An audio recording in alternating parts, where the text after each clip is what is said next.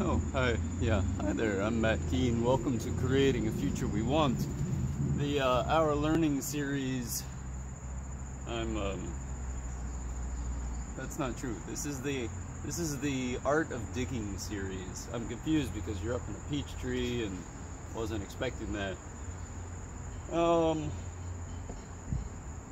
I was digging this hole here and I was thinking, gosh, this this whole deal with uh, with gravity is kind of a bummer at the moment. With uh, like there being this force between me and Earth, and because Earth just happens to be a lot bigger than me, um, basically I'm the one lifting up Earth and it's heavy, especially after a rain.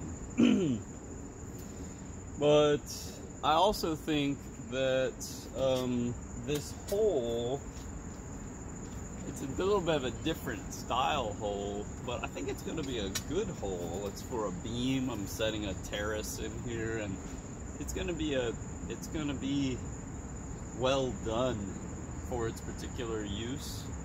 Um, and um, if it were round, I think pretty much everyone would agree that the round space in the earth with no soil in it, we'd call a hole. But here, because this one's kind of wacky, with it being like eight feet long by seven inches wide by four inches deep, you know, maybe folks wouldn't call this a hole.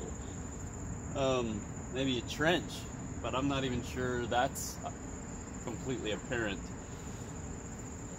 So I'm kind of kind of here chatting with myself, the peach tree, and whoever is watching here, um, because these are four truths that are a way of framing our thinking when things get a little bit wicked, a little bit sticky.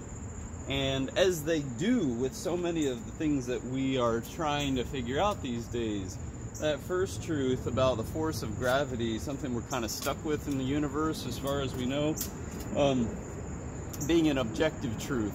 Um, pretty much measurable, apparent, present, that sort of thing. Uh, my opinion that this is a good hole um, is would be a subjective truth. It's what I believe. It's based on sort of my principles or values related to the art of digging, of course. Where am I? Can I even see? Are you up there? And uh, and then oh, this is pretty fun. Um, the then there's a normative truth that that round thing would be called yeah there you go that round thing would be called a hole. Pretty much everyone in English speaking countries has, you know, we agree, we'll call that sort of thing a hole. Um, you know, there isn't as much agreement as what I'm doing here would be called a hole, and not everybody would call it that.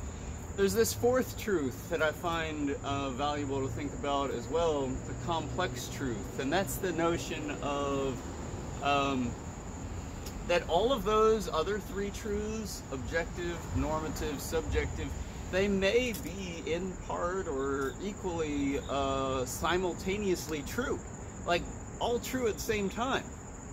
That's pretty crazy thought. But that's why it's called a complex truth. I like wicked truth as another way to talk about that. I've recently been hearing a bit about people talking about pragmatic truths. I'll talk about that in another video with the, the old shovel here.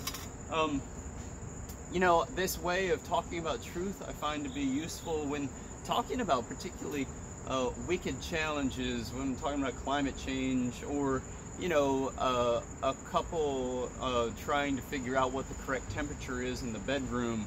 It may say it's 70, one thinks it's hot, one thinks it's cold.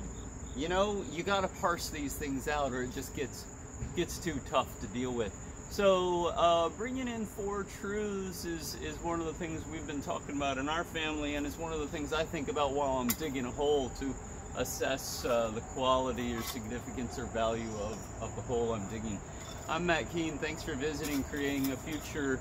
We want the Art of Digging series. Uh, what's your vision for a future of truth and our understanding of it.